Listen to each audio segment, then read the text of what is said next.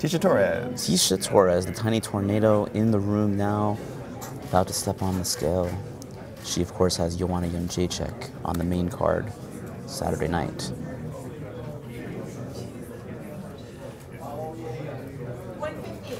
115 on the nose for Tecia Torres. Arguably the biggest fight of her career on Saturday night. Not much of speculation that she would move up to 125 after losing both fights to Rose Namajunas. But no, she, she wants badly to get her belt back at 115.